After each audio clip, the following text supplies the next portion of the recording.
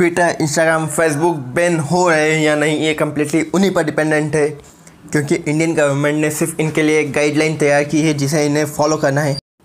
उस गाइडलाइन के चलते इन्हें एक nodal officer and resident governance officer बनाना होगा, जो कि इंडियन हो।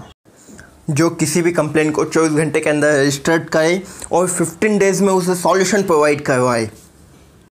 और इन पर अपलोड होने वाले किसी भी तरह के हार्मफुल कंटेंट चाहे वो धर्म से जाति से किसी से भी रिलेटेड हो, उन पर चौबीस घंटे के अंदर अंदर एक्शन लिया जाना चाहिए उन पर कार्रवाई की जानी चाहिए।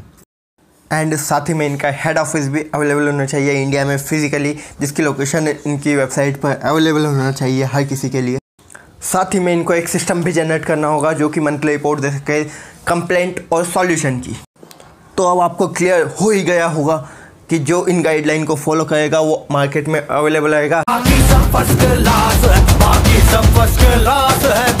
तो चलिए देखते हैं मार्केट में कौन कौन इन गाइडलाइन को फॉलो कर पाता है।